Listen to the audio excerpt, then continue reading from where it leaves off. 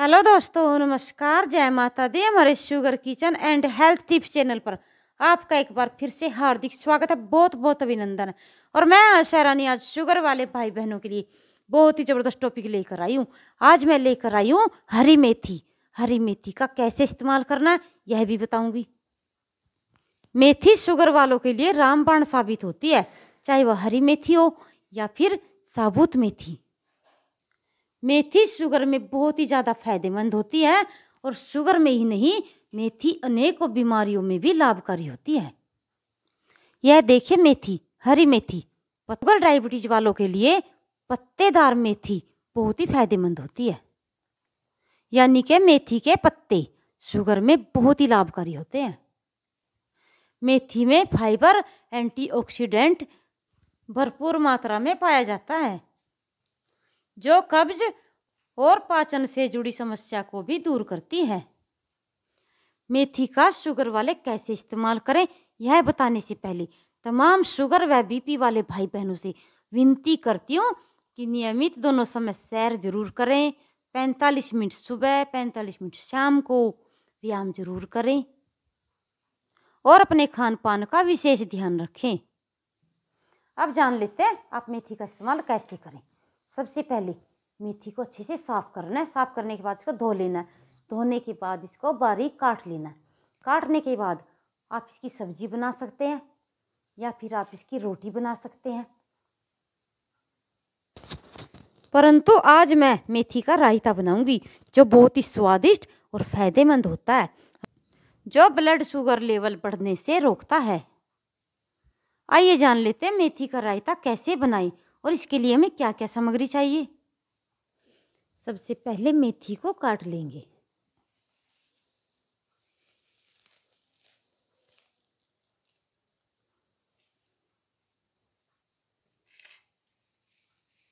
ऐसे पत्ते पत्ते लेने और इनको ऐसे बारीक टुकड़ों में काट लेंगे। बिल्कुल बारीक काटना है।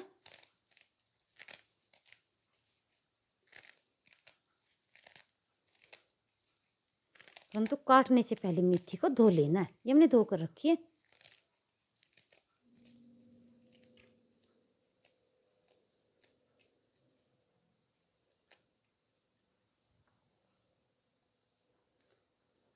अब काटने के बाद इसको किसी पैन में डालकर अच्छे से भून लेंगे।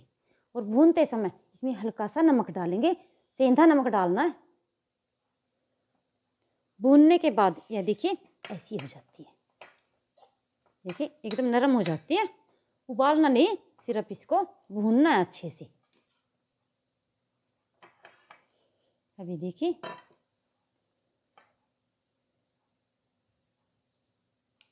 इसको हम किसी बर्तन में डाल लेंगे। अब हम इसमें लस्सी डालेंगे।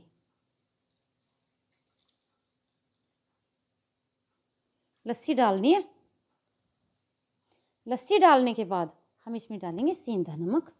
स्वाद के हिसाब से हल्का डालना है, क्योंकि मेथी में भूनते समय हमने नमक डाला था। अब थोड़ा सा डालेंगे साबुत जीरा, जो हमने तवे पर भून कर रखा है। एक चुटकी अजवाइन देखिए, इसको भी हमने तवे पर भून कर रखा है। अब डालेंगे थोड़ा काली मिर्च पाउडर। अब इसको अच्छे से मिक्स कर देंगे। अभी मेथी जो बची हुई, इसको भी डाल देंगे।